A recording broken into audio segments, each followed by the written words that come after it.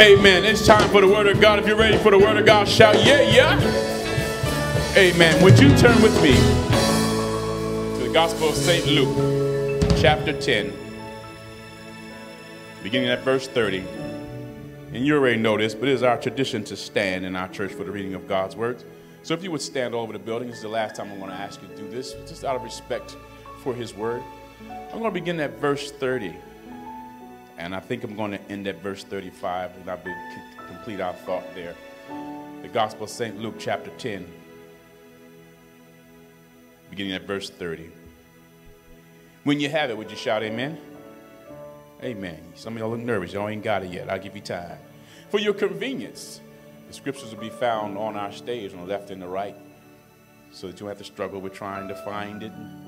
I see a few people still carry their Bibles. Some people still carry their Bibles. Ain't that something? Yeah, we got the electronic devices and stuff, but I heard pages turning. See, that's old school. Yeah, I appreciate electronic and everything, but they gonna pull out the Bible, yeah. flip the pages, old school. Yeah, I want to make sure it's there. Amen.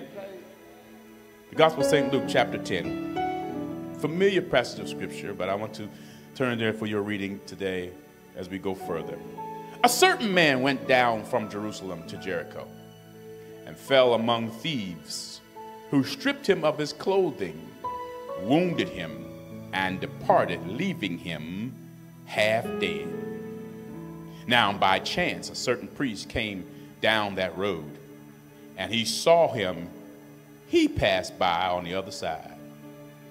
Likewise, a Levite, when he arrived at the place, came and looked and passed by on the other side.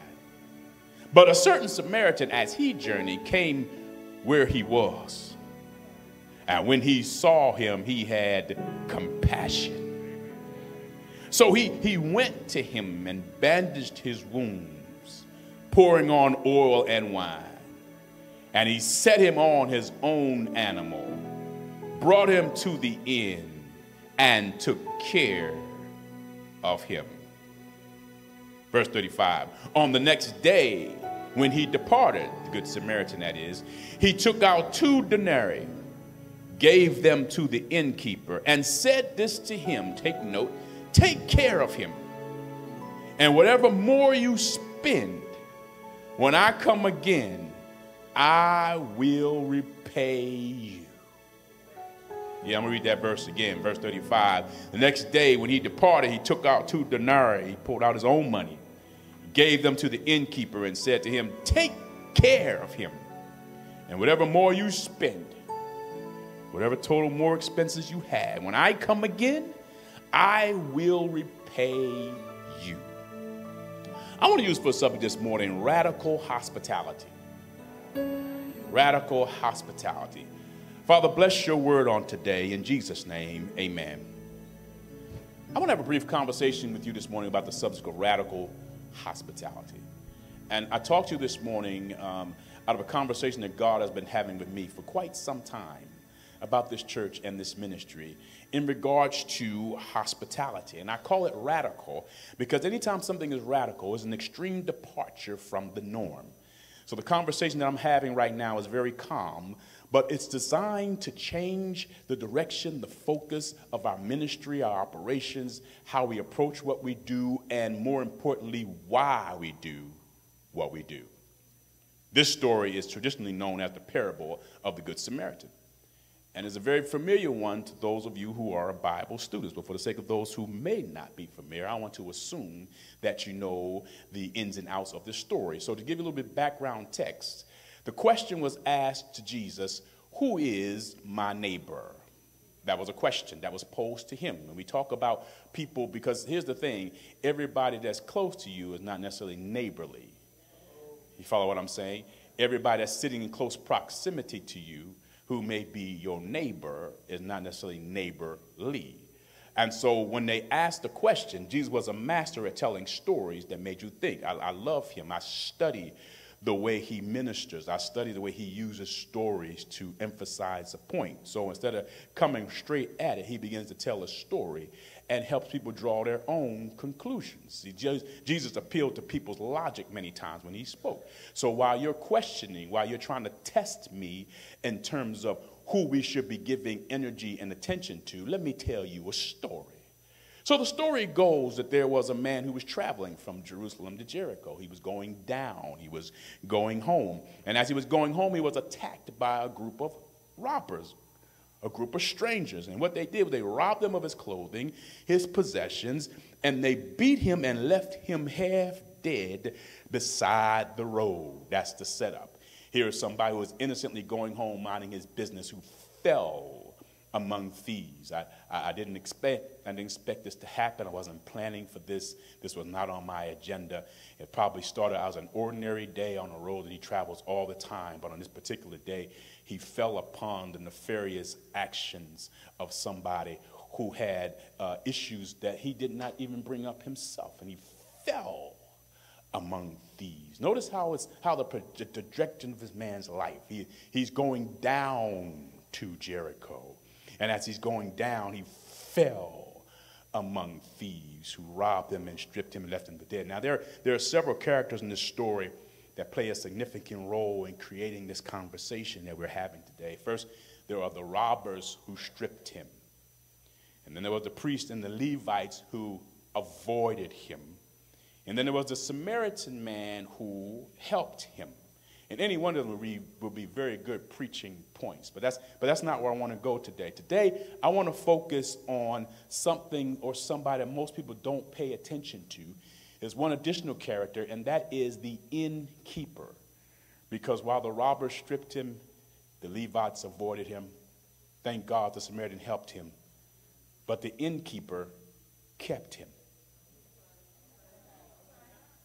And the reason why I want to focus on his presence in this story is because to me, to me, the Holy Spirit enlightened to me that he showed the true transformative power of hospitality. Jesus was making a point. By definition, your neighbor is the other person or anybody that's in front of you. The point that Jesus was making with this story is that everybody is your neighbor, that humanity is your neighbor, not just those you are familiar with not just those who share your same political beliefs, not just those who share your same skin color, not just those who are in your uh, approximate location where you live, but that everybody, every person you meet is actually your neighbor, that humanity is your neighbor. And so, for those who are trying to make excuses and say, I have an obligation only to those I know, Jesus expanded it and said, You have an obligation to those you don't know. Are you with me so far? The primary Greek word for hospitality in the New Testament is a combination of two words philo, which means love, and xenos, which means stranger. The word is philo, xenos, which means to, to love or to be a friend of strangers.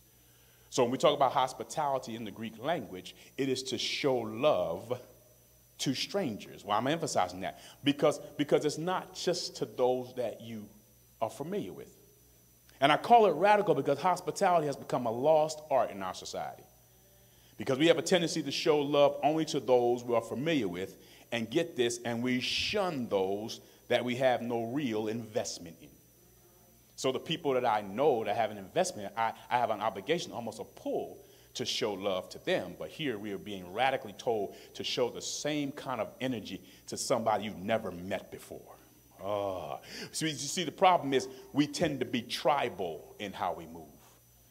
We're tribal, we're, we're clannish, we're cliquish in our presentation. And when we are that way, we are limiting our ability to be impactful to those who are beyond our borders. What am I saying? I'm saying your life has to be bigger than us four and no more. That our lives have to be, if we're going to be impactful, we can't just look for familiar faces. Even in a church service like this, we tend to look for people that, we, that we're used to seeing. There's, there's Sister Mary, there's Brother Bob, there's whoever. But, but in reality, our eyes should be keen. Our eyes should be trained to look for people that I've never seen before. And that my ministry actually kicks in when I see an unfamiliar face that in reality, the people who've come among us for the very first time, and I thank God for our first time visitors here and our second time visitors, but in reality, our heart should be so in tune that when I see a new face, I make a beeline for you because I am someone who was given to hospitality. That's what Paul said we should do. Paul said that we should be given to hospitality. That means that we have a lean toward and a bent toward hospitality. That hospitality is our calling. Can I say something to you as a church? I think that we should be known for being hospitable. If we're not known for every, anything else, we should be known for being hospitable. That anybody who ever darkens our door or walks into our service, that they may not be impressed by our singing, and they may not be impressed by the preaching, and they may not be impressed by the facility, but what they should walk away is with an overwhelming feeling of being hospitable that I met a group of people who never saw me before, didn't know my name, wasn't from my part of town, but they were so overwhelmed with the hospitality of this church. Oh, to be the kind of church that when people mention the impact church, that the first thing comes to their mind is hospitality.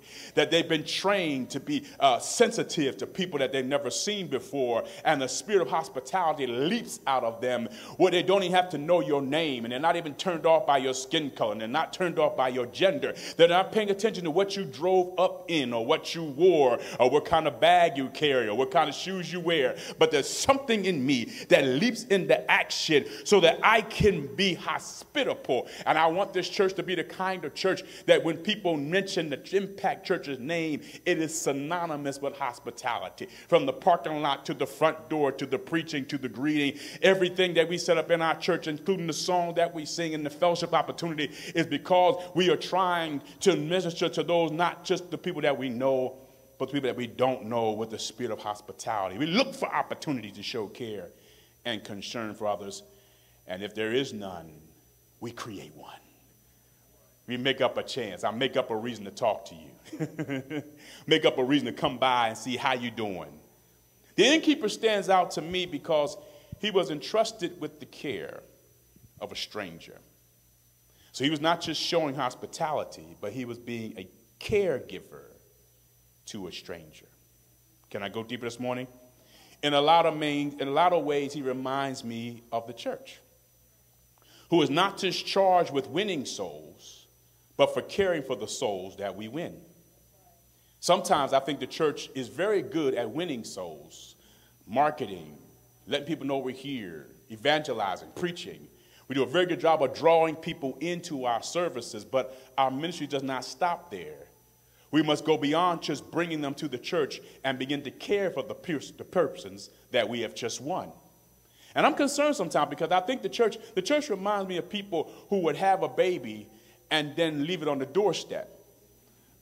Who, who would do that? That's crazy, right? Who would go through all of the pain of carrying a baby for nine months pushing them out of your body. And instead of bringing them home to be cradled and cared for and nurtured and trained, you would leave them on the doorstep. But to be quite honest, I'm saying this as an observation and not a criticism. We are adept at getting people in, but we're not as good as keeping people in. We're not as good. We don't have as much. We're, we have energy about coming. Come to my church. Come visit my church. Come see my pastor. But once they're here, uh, uh, we're not as good at taking care of the people that God has given to us, the people that God has given into our care. And so, even though we have bodies that come in, the needs that they've been brought to this safe place for has not been met because we don't realize we have a dual responsibility you see. We have a dual responsibility of not just bringing them in, but providing care and concern and teaching and training for them. And so the sad thing is, after all the work we've done to get you here, now that we got you here, we dust ourselves off and say, My job is complete. But in actuality, your job is not complete. this man was given the responsibility of caring for a stranger. And I'm going to say this to you because many of us are in this situation right now. The job of being a caregiver is not an easy one. I realized this when I, when I took care of my mother before she transitioned. It is not an easy one. Even for somebody that you love, the job, the responsibility of being their caregiver is not an easy one, let alone somebody that you don't even know. When you think about the concern, the care, it's on your mind, the energy that it takes to be there and be effective in that person's life at a time when they cannot take care of themselves. It is not an easy job, even for somebody that you have great affection for. So much less for somebody that you never met before. And this is why the church is having such difficulty in ministering to souls, because many of the people that come into our churches are strangers to us. And yet, God has called the church to offer care and concern for a person you've never met before from the wrong side of the tracks, from a different part of town, as if they were your family. Whew, isn't that a challenge? That I'm going to leap over chairs and get to you as if you were, let me put it straight, I'm going to care for your child as if it was my child. I'm going to look out for your son as if they were my son. I'm going to respect an elderly person and give them deference and give them care and give them support and reach out to them as if it were my mother. Oh, that's putting it on another scale, ain't it? I, am going to be there for you and provide ministry and provide help as if you were mine. And yet, that is what God is calling each of us to do to look out for, to care for people that you are not physically related to because I have radical hospitality. So write this down. Most people haven't challenged this because it is expensive. It costs something to serve. That's why a lot of people don't do it well and they don't do it long because they underestimate what it costs to really serve somebody else. Can I say it real frankly? Most of us are self serving that if what I'm doing doesn't serve me in some way, doesn't help me in some way, doesn't place me in a, a, better position in some sort of way, I lose interest. And even if I go out of my way to help you, I can't do it well. Um, and I mean well, I mean doing it as if it was my mother. And I don't do it long, I exhaust quickly because caring for other people is expensive. And I'm not talking about money. I'm not talking about money. Don't go there. I'm not talking about how much it costs. Although money is in there, it's expensive to care for people. Yeah, he, this, this, the man in this story, the innkeeper, he was a businessman, right? He made money providing lodging for paying customers. He wasn't a hospital. He wasn't there to be a nonprofit. He, he was there to make money. Let's be clear about that. That's how he made his business. So, so to take care of this man who could not pay me meant he was losing money. He was losing space, he was losing time, he was losing upkeep. I have a lodging, I have a hotel that is designed to make money for temporary travelers to come through, and in return for the space that I give them, I get paid. That's how I make my money. And now a need has been dropped off on my doorstep that I don't get any money from and I'm a businessman. And to me, if it don't make money, it don't make sense. this was inconvenient. It was inconvenient. The whole, the whole setup, the fact that you, I didn't plan my day for you to bring this need and drop it on my doorstep. I am a businessman. And so this innkeeper, understand, was in the business of taking care of people. He wasn't in the heart place. This was about money was inconvenient. And here's what I understand about ministry you don't always know the cost of serving God through serving people. That what they didn't tell me, Adrian, when I came into ministry, is that there's a hidden cost to doing ministry well.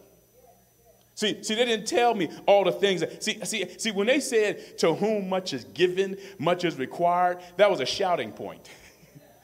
That who much is given, much required. That was a shouting point for being in ministry. But I didn't know that there were hidden costs in ministry, that, that, that there were things that didn't show up on the line items in the budget sheet, that there was no invoice that could be submitted for because there was no real way to quantify what it cost you But I want to tell somebody there is a cost. That they didn't tell me, Adrian, that when you gave into ministry, that there were things that I didn't see. I didn't know that there would be attacks. I didn't know that there would be lies. I didn't know that there would be difficulty. I didn't know that there'd be misunderstandings. I didn't know that if you preach right, it didn't mean that everybody treats you right. I didn't know that just because you said yes to the Lord, I didn't really know what I was saying yes to that when God said, go preach or go minister, I said yes in my heart without really knowing uh, uh, how much it was going to cost, what I was saying yes to. I didn't know I was saying yes to heartbreak. I didn't know I was saying yes to heartache. I didn't know I was saying yes to people who would attack you for having no real reason. I didn't know I was saying yes to people who misunderstood you oh, while you were trying to do good. I didn't know I was saying yes to being lonely, to being frustrated, to being misunderstood. I didn't know I was saying yes to being ostracized and often criticized and often overlooked and understated and overlooked. I didn't know I was saying yes to all that. I thought I was just saying yes to grab a microphone and take a text and start preaching. I didn't know I was saying yes to nights walking the floor wondering, Lord, what are we going to do? I didn't know I was saying yes to attacks on your family, on your physical health, and on your relational health. I didn't know I was saying yes to things that I did. I didn't know. There was no way I could quantify. So even when somebody offered to pay you a salary to do what you do, I didn't even. I wasn't even able to give them an accurate uh, uh, uh, uh, uh understanding of how much it would cost because there were things that I did not see. How many people know what I'm talking about? That, that, when I said yes to go and help somebody, I didn't know that there were hidden things in there, things that weren't revealed to me, things I didn't see. And perhaps if I had seen it, I would have probably said no. I would have said no if they said, I want you to go it's inconvenient for you. I want you to stay there all night. And I want you to handle, handhold them. I want you to care for them. I want you to be there. I want you to support them. I want you to pray for them. And so instead of me praying for myself at 2 in the morning, I'm walking around with your burdens on my heart at 2 in the morning. I didn't know that I'd be stretched from here to there, that sometimes I would be stretched between my own needs, my own issues, my own challenges, and yet trying to work other people through their needs and their challenges, and that sometimes what they were going through conflict what I was going through. I didn't know that sometimes I'd be had to be the first one there and the last one to leave. I didn't know that I had to spend long nights and long days. I didn't know that I would have to give up things that I wanted to do to be available, to be accessible, to be effective so that someone else could be good at what they do. Can I talk here? Uh, we, so, so, most people that go into ministry come into ministry with great, grand ideas of what ministry looks like. So they see cars and they see homes and they see jets and they see uh, accolades and they see VIP seating and they see all these uh, what I call trappings of being in leadership, Deacon James. They see all the externals. And so most people are drawn into ministry because they're pulled in by all those external things, and nobody told them that there's a hidden cost to this. That if you really do it right, that, that it's really going to cost you in ways that you can't even quantify. I can't even explain to you what it really costs. People tickle me to have those. Remember, they used to have those pastoral anniversaries, and they had the pastoral anniversary, and they would present the pastor with a gift and say, Pastor, we raised this money and wanted to give it to you. And the pastor would nervously receive it and say, Thank you. But really, when you really think about what it cost you personally, the things you can't explain, the things that you can't talk about, the things you had to give up, the times you had to walk away from the needs of your own children so that someone else's children would be blessed. The time that you stood there and counseled and struggled and helped people get through their marital issues while you were having issues of your own. The times that you went to the hospital and you sat there and you prayed with them, even though you needed to be in the hospital bed yourself the moments when you were trying to struggle with them through a mental breakdown, a crisis, not knowing that you had to, you were trying to get through a mental breakdown and crisis yourself. The times you sang and you worshiped and you ministered and you helped other people, and in reality, you needed to be on the altar yourself, receiving from the ministry of worship. The times we preached when you needed to be preached to. These are the hidden costs that are in, that are baked into the yes how many of you have said yes to the Lord? that, that, that, you've, that, that, that God has wrestled with you and He's called you and He's ministered to you and He's spoken to you in dreams and in visions and He's telling you what He wants you to do. And maybe some of you have been running for years from the calling of God in your life, not just to preach, not just to sing, but just to call, the surrender to God. And when you finally said yes to the Lord and you threw up your hands, nobody told you that there were some hidden costs. Am I talking to anybody this morning? Oh, for the hidden cost. If they just told me it was going to be like this, I might have said no. But I said yes to it anyway, and now I'm in a position to minister and to serve. That's why, that's why you can't be in this for the money. You can't be, it, it, it, I'm not saying you shouldn't be compensated, but that shouldn't be your first conversation. Because in reality, whatever you're, whatever you're given as a salary or as a contract does not even begin to cover what it really costs the preparation, not just to do your job, but the personal preparation, the personal consecration, the times where God has you on your face praying when other people are playing.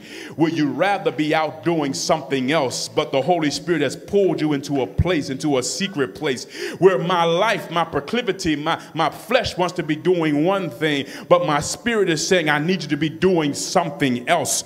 Where, where, where you want to be having a good time and running around, but something has grabbed you by the neck and said, I need you here. I need you in a position of prayer. I need you in a posture of prayer. I need you reading your Bible. I want to watch TV. I want to watch something stupid. I want to watch something silly. I want to see what's going on with Cardi B and them. I want to be watching the Real Housewives, but something has told me to turn this TV off because I want to talk to you. And while I'm trying to do something else, God is talking to me about something else. And there's a hidden cost. I wish I could tell you what it's going to cost you, but I can't because there's a hidden cost. One successful preacher was asked this. He said, What does it cost to be an effective minister? What does it cost? They saw him on grand stages, they saw him on big events, they saw him bringing souls to Christ, and they asked him, What does it cost to be an effective minister? And his answer was, everything. That in reality, it cost me everything. To really do ministry on the level that He has called me to do, you don't get portions, you don't get parts, but it costs you everything. And in, in the story, Jesus demonstrates this with His own life. With His own life, He demonstrated what it costs to do ministry. He saw a world full of sinners that were stripped of their uh, divine identity and they were wounded by sin. And they were unable to rise. Sin had taken over and beaten us down so that we were unable to rise up and to answer the call of God. That even if I did want to, I didn't have the propensity, I didn't have the power, I didn't have the passion, I didn't have the ability. That I was just like this man who was stripped of my divine identity. If you remember that man was made in the image of God and Adam was made in the image of God, and because of sin, they were stripped of their divine identity and they were left on the side of the road, wounded and unable to rise up by themselves. But thank God that, like this Samaritan, Jesus came down to us. And aren't you glad for a God who will come down to you? who will not demand that you come up to him, that you get your life right, that you get yourself together. But we serve a God that'll come down where you are, that he'll come down to the drug house, he'll come down to the sin that you're in, he'll come down. This man got off of his beast. And unlike the priest who avoided the issue, and unlike the Levite who found another way to get around it, he came right where you are. How many of you are glad that God came right where you are? He didn't wait for you to get it together. He didn't wait for you to get your mind right. He didn't wait for you to get your money right. He didn't wait for you to start wearing the right clothes. He didn't wait for you to start acting right, but he came right where I was. How many of you are glad that God came where I was? When he found me, I was a mess and I was a wretch undone and I had reefer in my pocket and I had alcohol in my body and I was running around chasing everything I could find. But he didn't wait for me to get to be a deacon or a minister or a pastor but he came right where I was. He came right in the club. He came right in the strip joint. He came right when I was doing dirt and said, Hey, I want to talk to you. How many are glad that God found you where you was? He came, he came down He came down. I'm so glad we serve a God who sits high, but he looks low, and that he will come down. That's what Jesus did. He stripped himself of his glory and he took on the form of a man and it became in the form of a man and came down to us. He came down to the human experience. He came down to a people who couldn't reach up to him. And here he began to put oil and wine. Here he began to minister. He didn't minister from glory. He came right down to where you were and began to minister and bind up your wounds. And oh God, put me in a safe place. We serve a God that will put you in safe places that he makes an investment in you, that he snatches you out of something and begin to bind up the things that are really killing you. See, the things that are really hurting us are not what's external, it's what's internal. And God has a way of healing your wounds, the wounds from your past, the issues in your mind, the things that trouble you, the things that nobody's been able to fix. Alcohol couldn't fix it, and sex couldn't fix it, and therapists couldn't, couldn't fix it. I, and I appreciate therapists. If you need it, go get it. But there are some things that only God can fix and only God can change. And He began to pour in the oil and the wine like this good Samaritan, and He took me to a safe place. He didn't just give me a wound. He didn't just bind my wounds and pour in medicine and say, see you later. But God took the care of walking me all the way through. And I'm so glad that we serve a God who doesn't just start something and don't finish it. That he will walk you all the way through the process that he which hath begun a good work in you shall perform it until the day of Jesus Christ. That if God ever gets started on your life, he said, I'm going to walk with you, I'm going to stick with you, I'm going to stay with you until healing is complete. That's the problem. Many people, we have people who abandon us before the job is complete.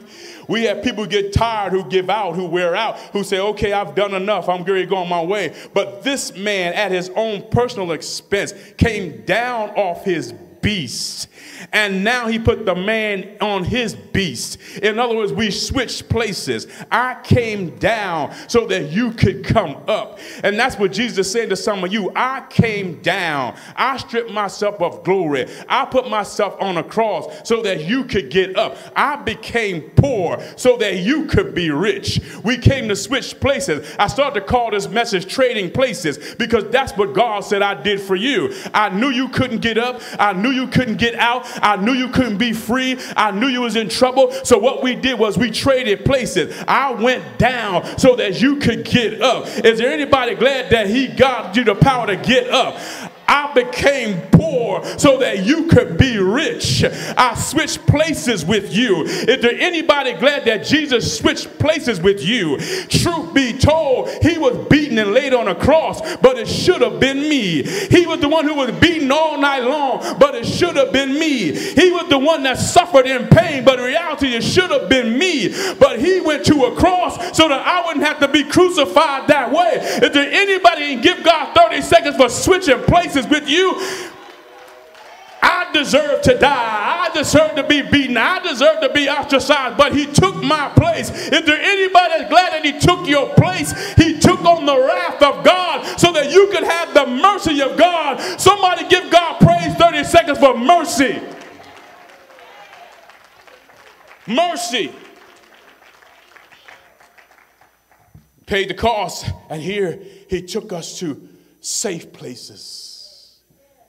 And that's what the inn was. It was a safe place. And that's what the church is supposed to be.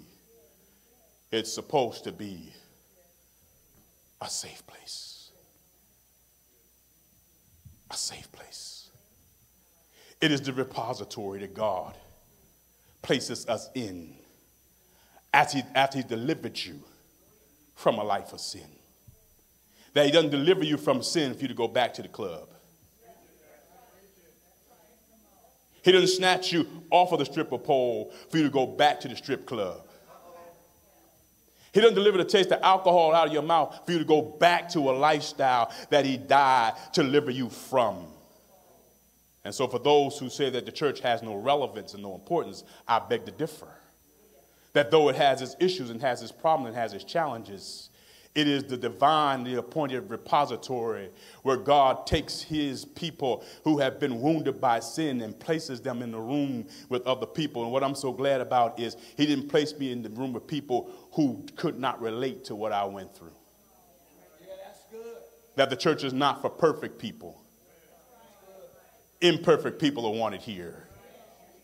This is not for the got it together folks who never had, had an issue, folks who never made a mistake, folks. That the church is a repository for people who have also been wounded, who have also lived in sin, who has also been delivered from something. That everybody in here has been delivered from something that there, there's something somewhere in your life that God has delivered you from that nobody in here has the ability to put your nose down on anybody because every person I see and every soul I see and every woman I see and every man I see has been touched by sin in some way. And so for us to act funny with strangers is really a bad thing because all of us can relate to what it's like to have sin in your life. Come on, talk to me, son. I want somebody in here who's been delivered from anything to give God a praise right here if God if God brought you out of anything. See, that's the problem with church folks. After you've been saved for a while, Taul, we begin to forget what it was like to be a sinner. We begin to forget what it was like to be bound and be tied up. But I want somebody in here who doesn't have short memory and who can appreciate what God has done in your life to give God some kind of praise right here for what He's brought you out of. If He brought you out of anything, I need you to give God a praise right here. If He brought you out of anything, if He brought you off off of drugs, if he brought you out of promiscuity, if he brought you out of alcohol, if he brought you out of anything, would you give God 30 seconds of praise for God bringing me out of something? I'm so glad he brought me out of something.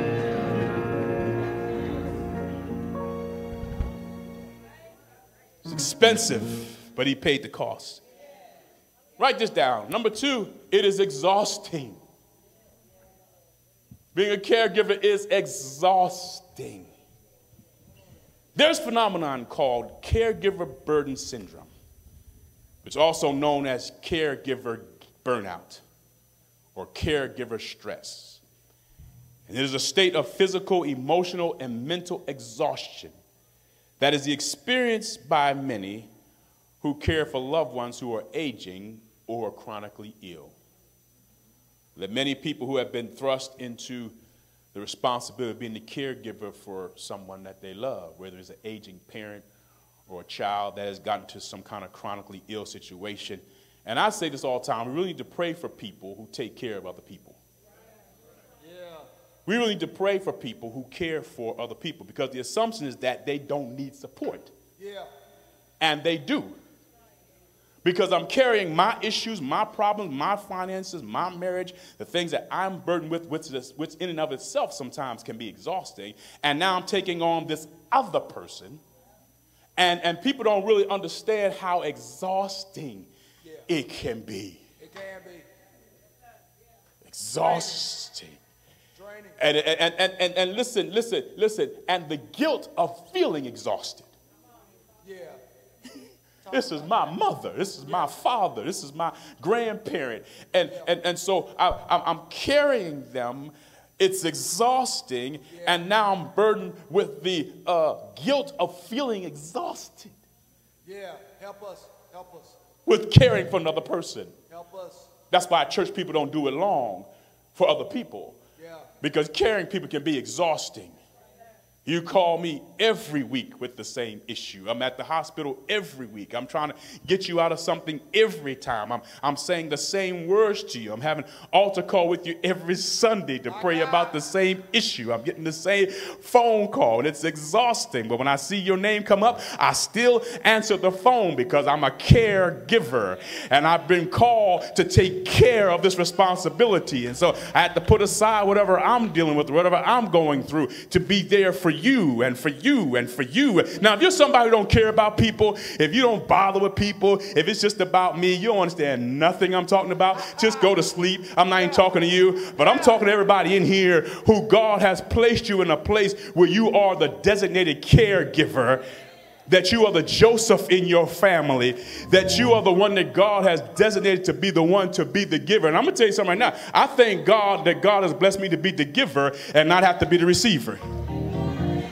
I'd rather be the one having to give money than to need money I'd rather be the one that can give help and give support rather than need support. You don't hear me up in here. I'd rather be the one having to be the lender and not the borrower. And though it's exhausting, and though it gets on my nerves, and though I fuss sometimes, and though I kick, and though I, I lament sometimes, say, God, why me? God said, why not you? Would you rather be the one giving or the one need the money? You have been destined, you have been called, you have been gifted, you have been anointed, but it can be exhausting. it can be exhausting. And the assumption is, is that if you're a support, somebody say, well, that's your job. You're supposed to do that. You're supposed. You're the pastor. You're the deacon. You're the mother. you're the mama in this house. You're the daddy in this house. But just because you've been given a responsibility doesn't mean you're not human. Come on, I'm a human being. I'm a person. I give out. I'm not an unlimited source. I do get tired. I do got to take a nap. I do got to go to the bathroom. I do want to do something that I want to do. I do want to have fun. I want to go on vacation. And it can be exhausting. Yeah. I'm talking to somebody in here that God has put you in a position to be a minister, a caregiver, and yeah. a supporter, but you're exhausted. Talk to us. Help you're exhausted. The question is who cares for the caregiver? Yeah, that's a good question. If you are in the situation where you are the go to person, who cares for the go to person? Where does the go to person go to? hey, where is it? They always call me. I'm the favorite auntie. I'm the favorite uncle. God knows I've been blessed. they always call my number. But the question is, where does the person who gives the care, where, where do they go to? Where, where do they go to have their needs met? Where do they go to have somebody to talk to? And, and, and, and what I found is that the more responsibility you've been given, the fewer places that you have to go to be poured into. Uh-oh. That's, say that I'm gonna say it again. That the higher you go, the more responsibility you've given. Yeah. That it gets very narrow. You don't have many yeah. people that you can share real yeah. issues with. That that group of people that you can be real with and be down with and tell your secrets and shows your scars to. Daphne gets very small. Gets small.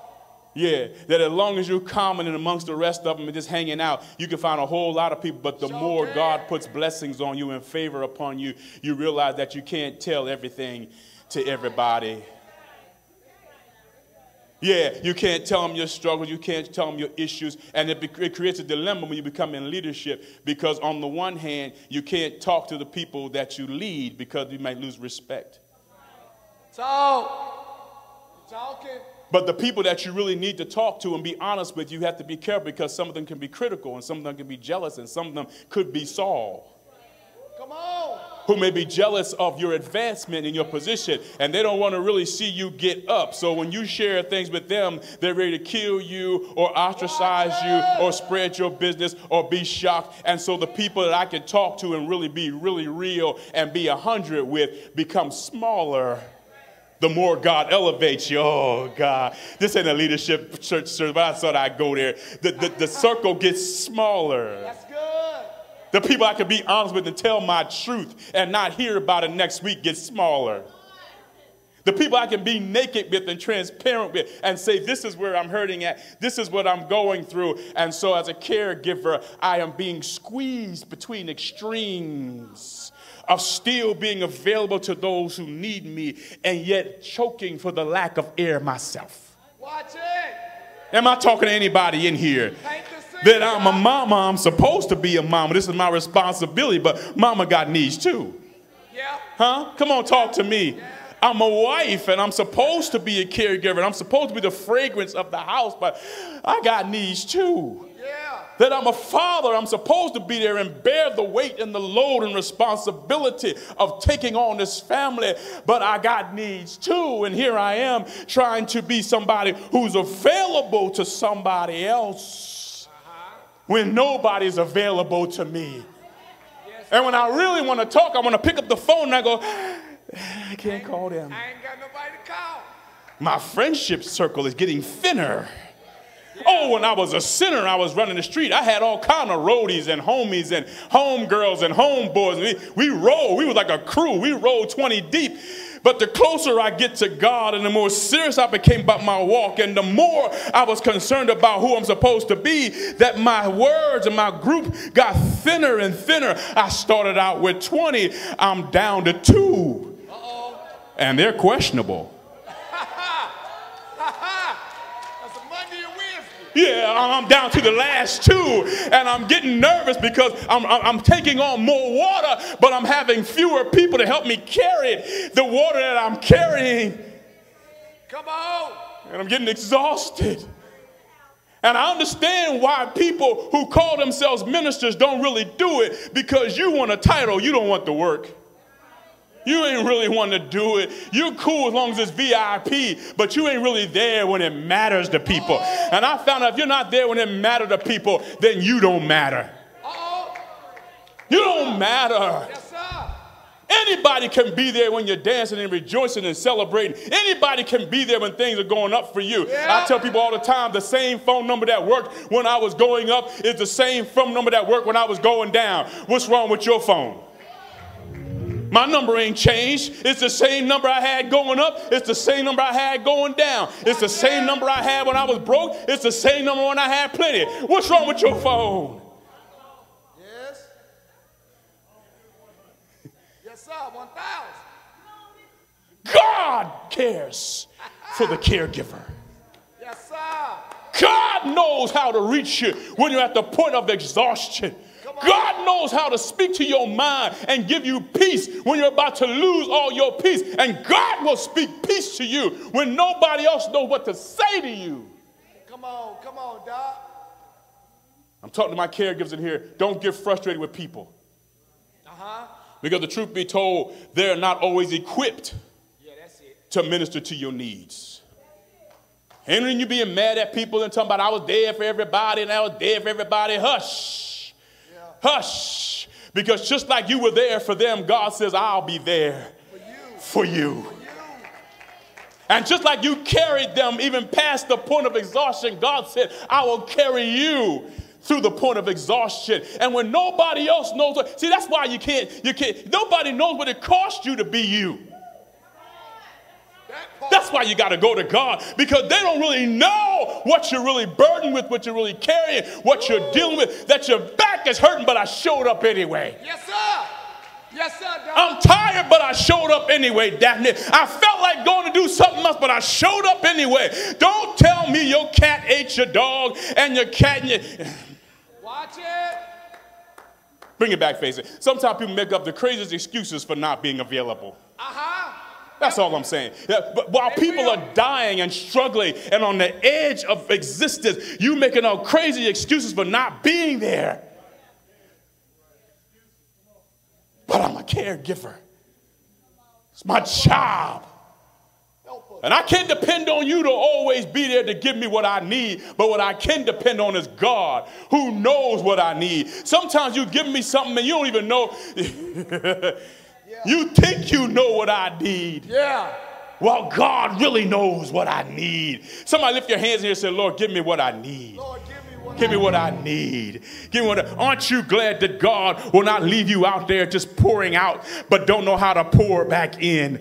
Lift your hands, give God glory. Say, Lord, you know what I need. Yes. That the church is like a gas station. We come here for a fill up. That I don't come here to play games and I don't come here to see who came and I don't come here just because it's Sunday, but I came to get a fill up because when I leave these doors and go out to work next week, I'm going to deal with the devil. I'm going to deal with the demon. I'm going to deal with issues. I'm going to deal with trauma. That's why I don't play when it comes to ministering the word of God on a Sunday morning because somebody came to get a fill up for the issues I got to deal with when I leave here. I came to get everything I need. Somebody lift your hands and say, Lord, fill me up. Yeah, fill me up. Fill me up. My tank is on E. I'm riding on fumes. I'm about to collapse. I'm about to quit. I got my hair done and my feet done. I got my fancy suit on, but they don't know how close I am to absolutely collapsing, to blowing out my brains, to giving up on my life and everything I love. And when I come to church, I ain't got time to play with you. I don't have time to play with the worship. I need a fill up. And if that's you, would you lift your hand, begin to worship right here and say, Lord, fill me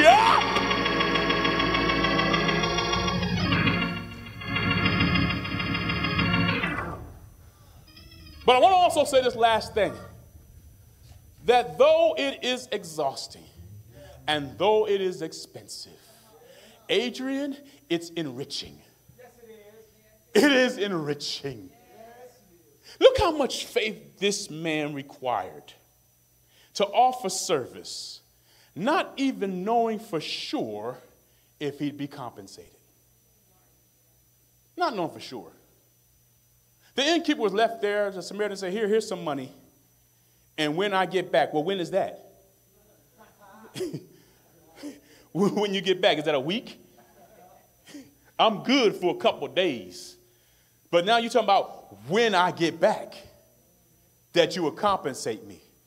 So the daily expenses of caring for this man are continuing. And I'm there every day, changing his sheets, caring for his wounds, giving him a free room, making sure he's eating his meals. And all I've been left with is a promise of when you get back. And I'm serving as if I'm going to get paid tomorrow, but it's been a month.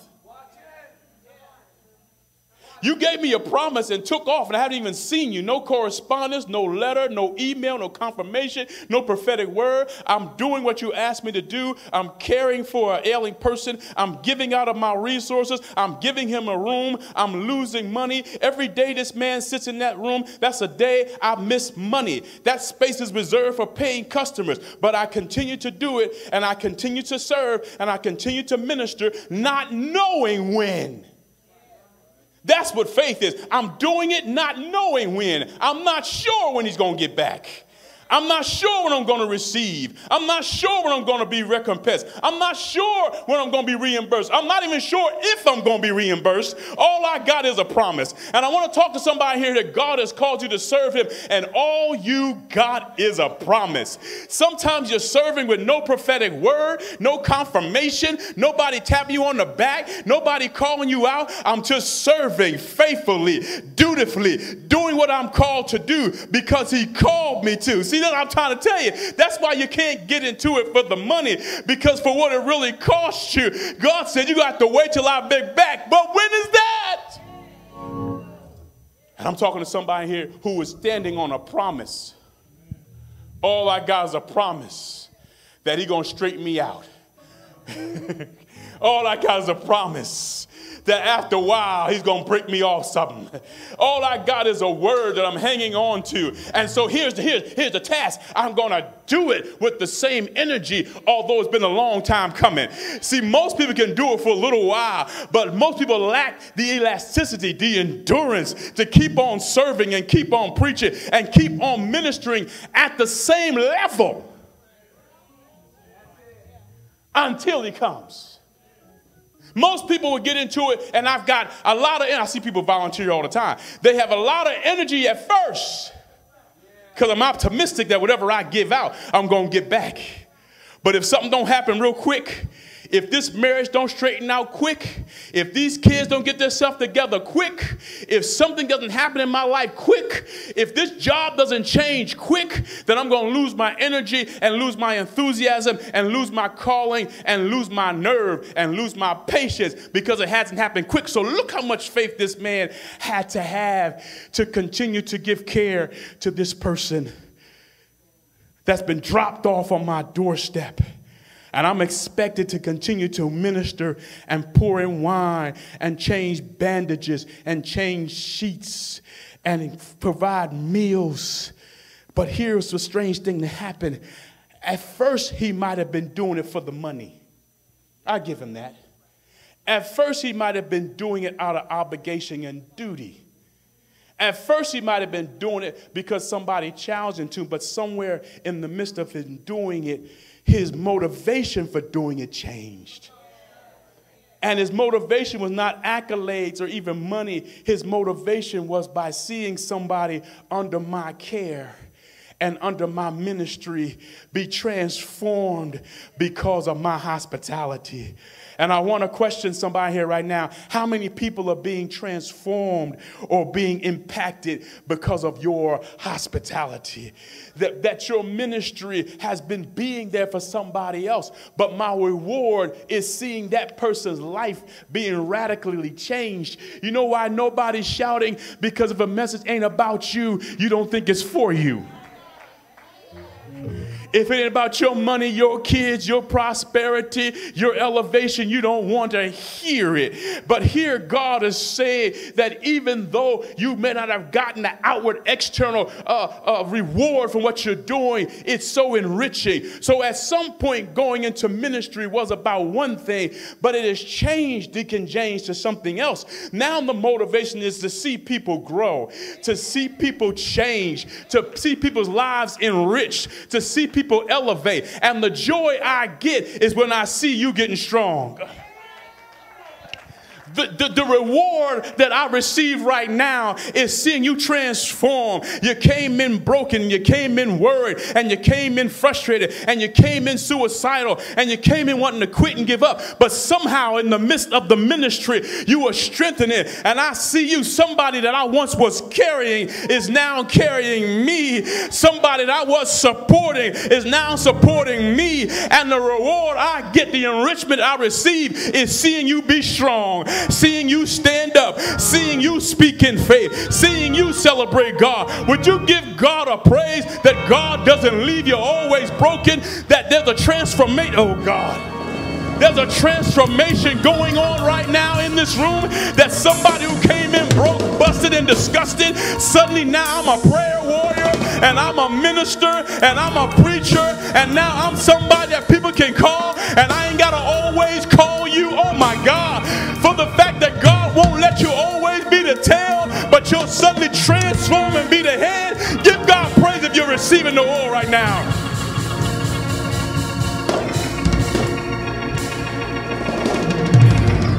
That's why we have to have radical hospitality. That's why we got to step over our old idiosyncrasies and our issues and to minister to other people in spite of, in spite of what I may be going through. And when I look out there and I see you who was barely making it, and now you standing it says my ministry was worth it, Connie. When I see you who was suicidal, when I see you who is about to break down, and because of our singing, or because of our preaching, or because of our class, and maybe it's none of those stage gifts, maybe it was just somebody giving a kind word. Just a kind word. I love people who are consistent. Yeah. Every Sunday when I see you, you always say, Good morning, good to see you and you did it the week before. Good morning, good to see you. And it's six weeks later, good morning, good to see you. And you don't know that just your consistency is helping somebody. Just your consistency. It don't have to be big. It's just consistent. Wishy-washy people get on my nerves and they make me nervous. And I can't deal with people. I got to take your temperature every week. I got to take your temperature to see if I can speak to you. What we need in the church of God are consistent people. It's hard for me too, but I'm still going to be consistent. I'm going to be consistently nice to you, consistently available to you, consistently have a kind word because you don't know what people are going through when they walk in the room. And when I walk in the room, and that one usher who always hugs me is a ministry to me. They don't even know it. Just that one usher. She ain't on the stage. She ain't singing. She ain't preaching. But just her saying consistently to me, I love you, Pastor, it ministers. Look at somebody say, I'm praying for you today. I'm, I'm praying for you today. But thank God. This is what I like about God God is never going to leave himself owing any man anything. He's not going to ever leave you with a blank check that he can't cash. And so here was the promise he gave to the innkeeper whatever it cost you, when I get back, I'll pay you. Whatever it cost you, I'm not even sure what all it cost you. I don't know the cost of your bandages. I don't know the cost of your food. I don't know the cost of cleaning the room and reletting. I don't know, but whatever it cost you, I'll pay you back. Whatever it cost you. Now, and I, I hear God saying to somebody in here that you've paid some costs that nobody really even understands, that nobody even knows. It cost you to be a good wife cost you? See, you, single people want to jump in and get married real quick because they don't know there's a cost. yeah, There's a, all my married people saying amen. There's a cost associated with walking around with a ring on your hand saying I'm somebody's wife. Yeah, yeah. And most people want the prize, but they don't want to pay the cost. See what I'm saying? They want the title, but they don't want to pay the cost. But here is God saying that whatever it costs you to take care of somebody else, when I get back, I'm going to repay you. And I'll repay you in ways that no man could possibly repay you. And I know you have needs, and I know you have issues, and I know you have challenges. But sitting right around you right now, I have strategically positioned you next to somebody who has a need that may be even greater than your own. You've been so self absorbed and selfish and worrying about you that you never even thought that the person sitting next to you is going through something that they can't even speak about. And I just wanted to use you for a moment to speak to them. And I, I hear you saying, God, I can't give out no more. If I give out more now, I'm not going to have nothing for me. And God said, whatever it cost you, I'm going to pay it back. I'm not talking about your bank account. I'm, I'm, I'm, talking about ways that stuff that you paid that nobody can't even understand. You don't even understand what I'm saying. I'm not even sure if I'm talking to the right people in here. But I'm keeping a record. I'm keeping a record of everything you have done to build my body, to minister to somebody else, to speak a word of encouragement. I'm keeping a ledger. And whatever it costs you, I'm going to pay it back. So here, so here's what I've been called to do to challenge you. Take somebody by the hand sitting next to you. Just take them by the hand. Squeeze their hand. Squeeze their hand real good. And for the next 30 seconds, all I want you to do is begin to pray everything you can on that person. Just, just pray. Forget about yourself for a minute. Forget about your needs for a minute. Forget about your Santa Claus list you came in with. And I want you to just step over what you're going through and begin to minister to that person and everything God puts in your spirit, begin to pray for that person. Come on, let's go. Let's go. This is radical. This is radical. This ain't what you came for. This is radical. I'm praying for your kids. I'm praying for your marriage. I'm praying for your job. I'm praying for your mental health. I'm praying, I'm praying, I'm praying for your kid as if it was my kid. I'm praying about your marriage as if it's my marriage. I'm praying about your financial needs as hard as I'm praying. You're not praying. You're not praying. Pray everything that God puts in your spirit. Pray everything. Pray everything. Everything come to your mind. Begin to speak it. Speak it. Speak it right here. Let the Lord use you. Pour out.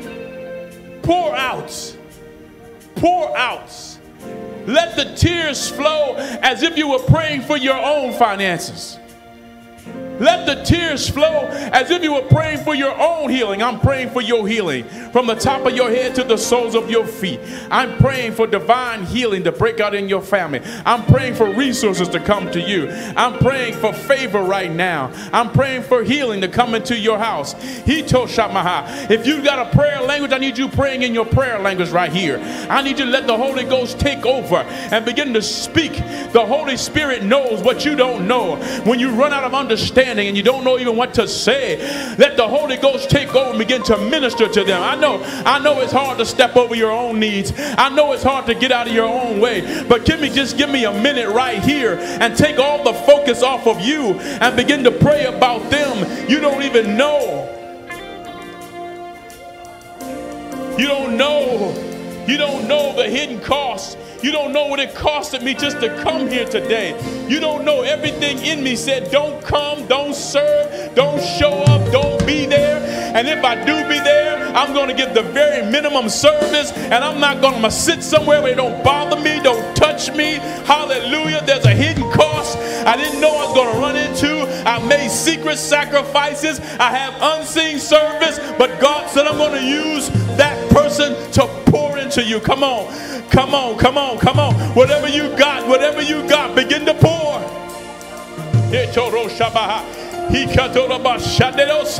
Hallelujah. My back is hurt, but I feel strength. My feet are hurting, but I feel strength. I feel ignored and overlooked. I feel disrespected, but I feel God pouring in right now. Pour in, Jesus.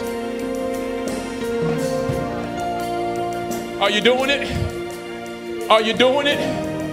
Are you doing it? Or is this radical? But let the Lord use you to be his minister today. Are you doing it? Are you doing it? Somebody's got to make a phone call when they leave today. You've been waiting for them to call you. You got to call them and just minister, just serve, just support, just speak a word. Well, Pastor, they spoke to me in years. I'm not talking about them. I'm talking about you.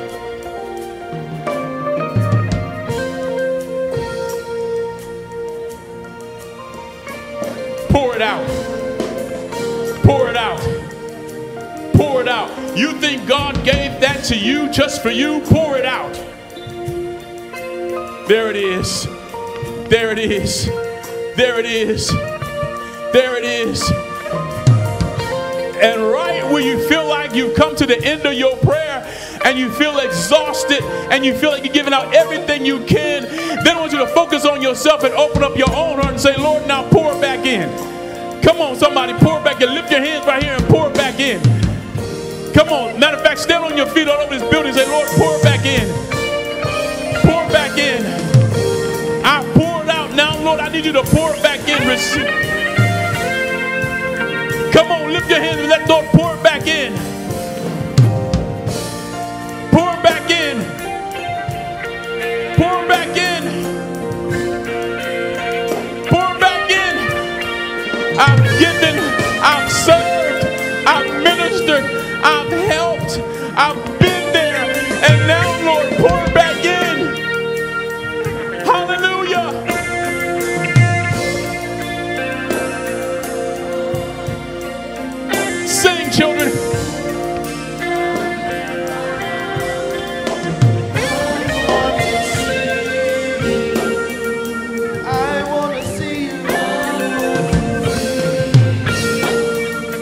Lord coming to somebody right now. Somebody's been waiting. Somebody's been exhausted. Somebody has poured out. God said, I'm coming to you right now. And everything you had to give up.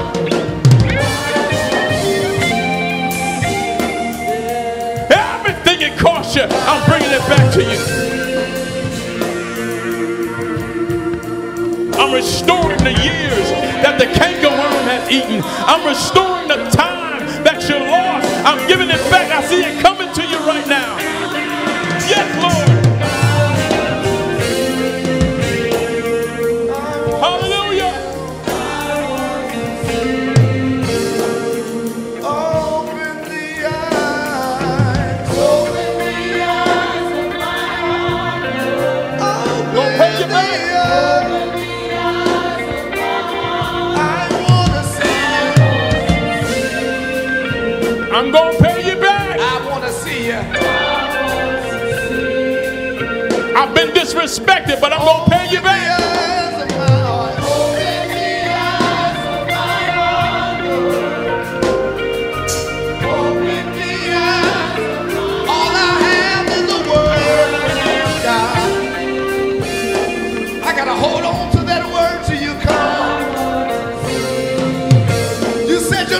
leave us nor forsake us, so open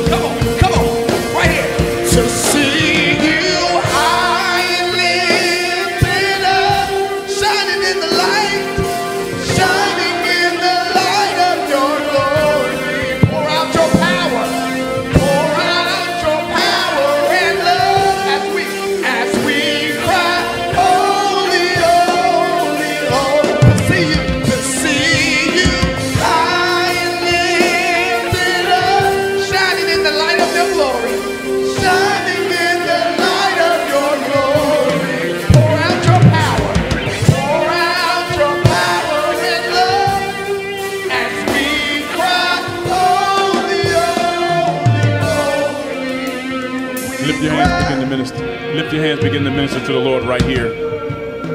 I feel the Lord pouring in oil and wine. I feel the Lord ministering to somebody who's been ministering to other people. I feel the Lord giving strength to somebody who's been strengthening other people. If that's you, lift your hand, begin to worship Him right here. Just, just receive this moment. Receive this, receive this moment. Help is coming to you right now. You've been radical about it. You've been there. You've helped. You've carried. And now God says, I'm here to carry you. You're not going to collapse. You're not going to fall apart. You're not going to break down. You're not going to commit suicide. You're not going to leave your post. You're not going to leave your position. I'm sending help to you right now. Right now. Right now. Your needs are being met right now. Whatever you need, wisdom is coming to you right now. Answers are coming to you right now. Help is coming to you right now. Hallelujah. Hallelujah. Lift your hand, begin to say, Holy, holy, holy.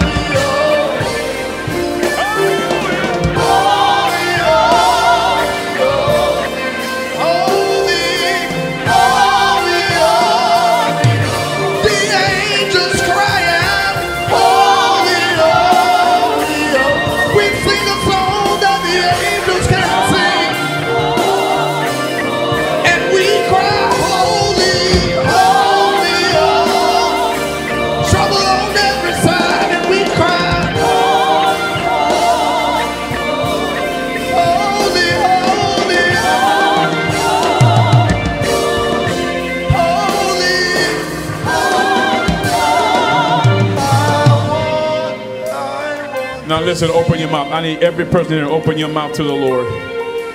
I need every person lift your hands up and open your mouth to the Lord right here. Right here. Right here. For somebody, this is your opportunity to take a good long drink right here. Come on, drink this in. Drink this in. I came to give you strength. I came to give you courage. I came to repay you. You've been carrying it for a long time. You've been carrying it for a long time. And I came to give you strength right here. This is your moment. This is your opportunity. to get what you need from the Lord. This is your moment. This between you and God. Don't worry about these people. They don't even know what you've been carrying. They don't even know what you've been thinking. They don't even know about the war that's been going on on your head. They don't even know how close you were to collapsing. They don't even know how close you were to giving up. But right here and right now,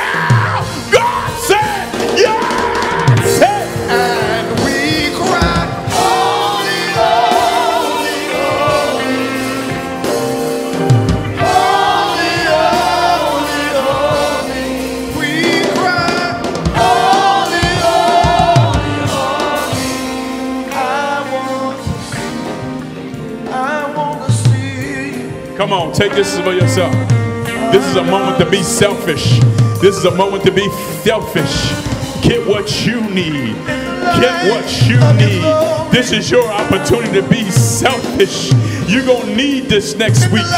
You're going to need this when you get back home. You're going to need this when you get back to that job. God is not unrighteous to forget your labor of love in that you have ministered and do minister to the saints. God said, I ain't forgot you. Woo! Thank you, Lord. I haven't forgotten you. I haven't forgotten about you.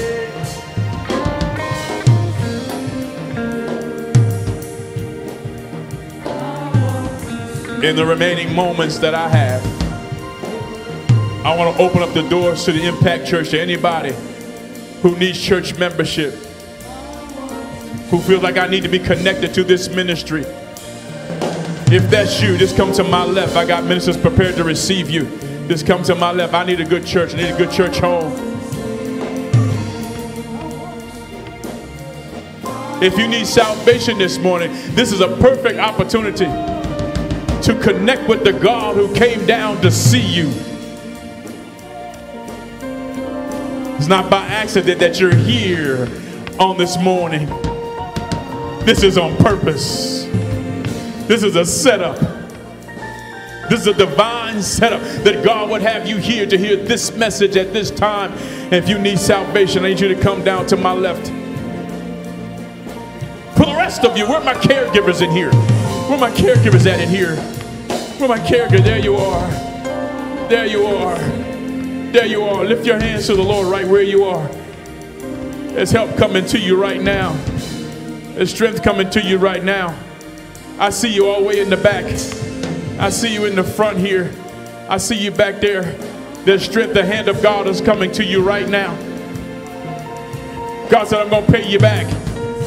I'm going to pay you back. I'm going to strengthen you right here. Nobody really understands what it means to be you. But I'm going to carry your burden. Cast all your cares upon me. Because I care for you. My burden is easy and my burdens are light. Let's do an exchange. Give me what you're worried about. Give me what you're carrying. Give me what you're concerned about. Cast all your cares upon me. Somebody begin to do like this. I'm casting my cares.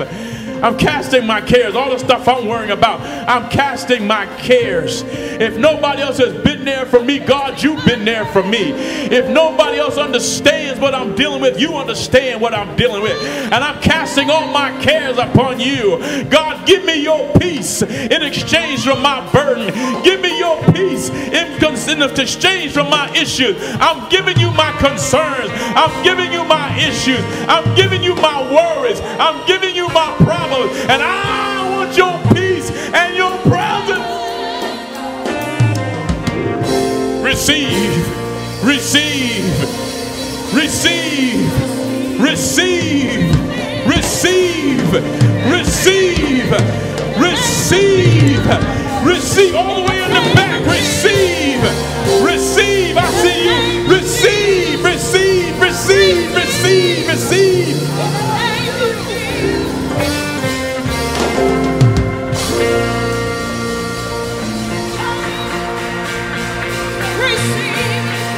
receive, receive, receive.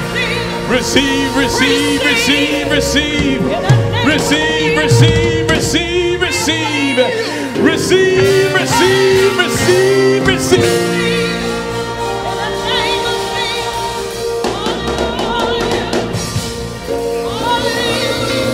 I wasn't gonna do it. I wasn't gonna do it. But I need every hand that went up that says I'm a caregiver. If you would run to this altar right now, I just want to touch and agree with you wherever you are. I see them coming. I've been carrying this for a while. I've been carrying it for a long time. I've been carrying it. Just I just need you to run up here real fast. I I, I just sense God calling you. Hallelujah. I just sense God wanting to pour in. I need you to come. Come. They're coming. They're coming. They're coming. They're coming. They're coming from all over the building. They're kneeling at the altar. I need you lifting your hands to the Lord right here. I hear God saying, receive, receive, receive, receive, receive, receive, receive. You've been giving. I need you to receive. You've been pouring out. I need you to receive, receive.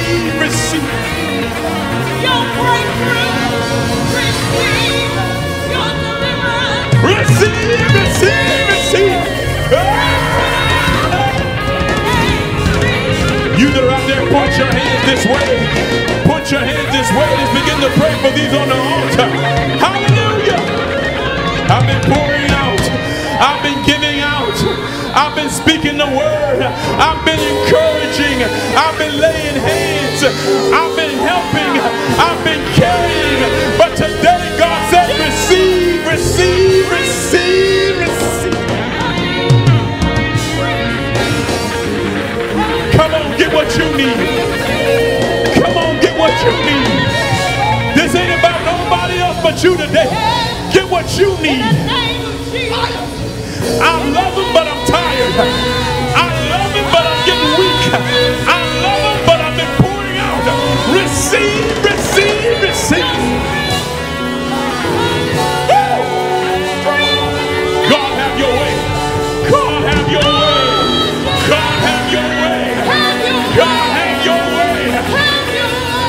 need you to survive. I need you to survive. I need you to survive.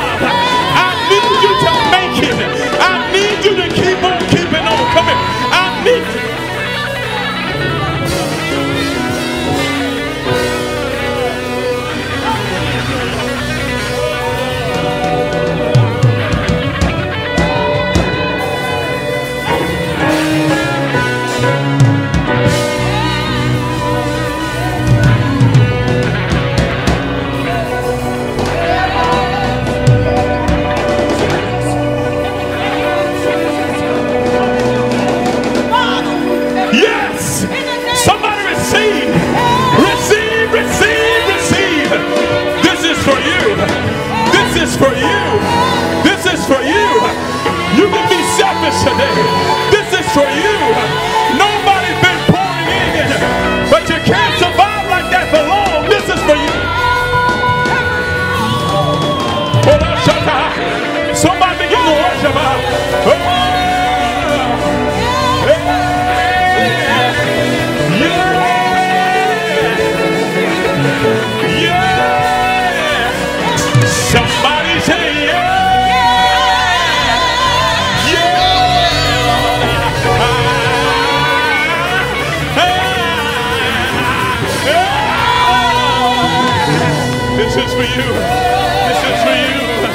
This is for you.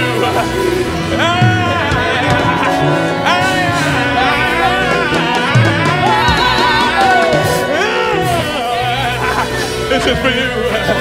This is for you. This is for you. This is for you. This is for you. I've been cool, but I'm about to collapse. Hey,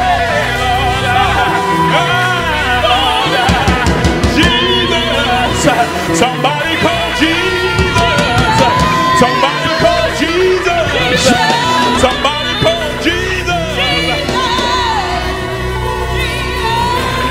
Jesus.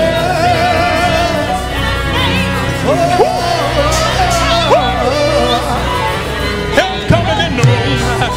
Help coming in the room. Come here, sis. I got Come here. Help's coming in the room. Help's coming. Help's coming. Help's coming. Receive. Receive. Receive. Come on, somebody. Receive.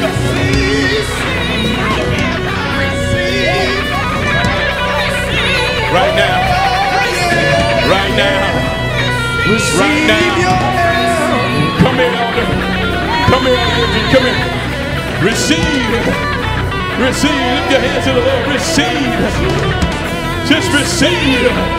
Let somebody put your hands to her. Receive. Hallelujah. Hallelujah.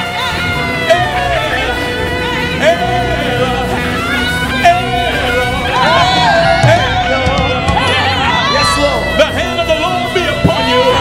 Hey. in everything you do, in everything you touch. Yeah.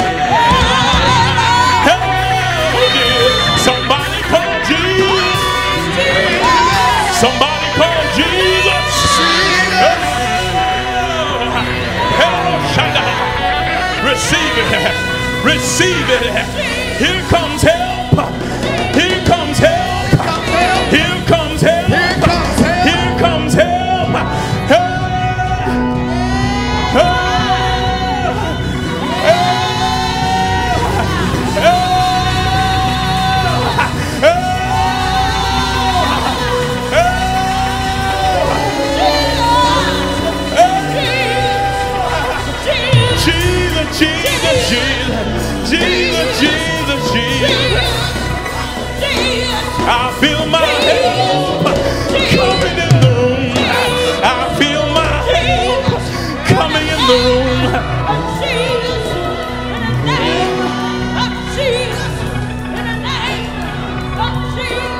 If you receive it, lift your hand and shout glory.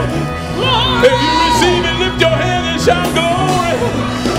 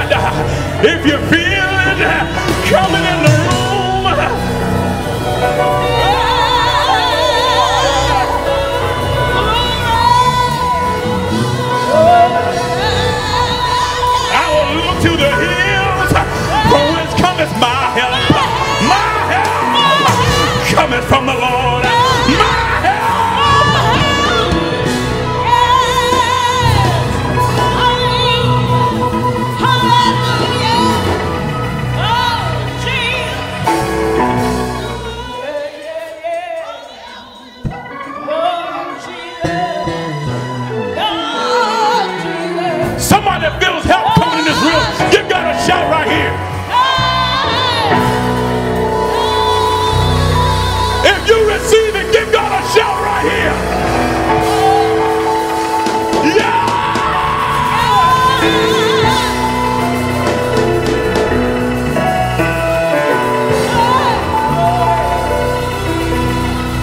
I feel something standing up in me. I feel something standing up in me. I feel something standing up in me. I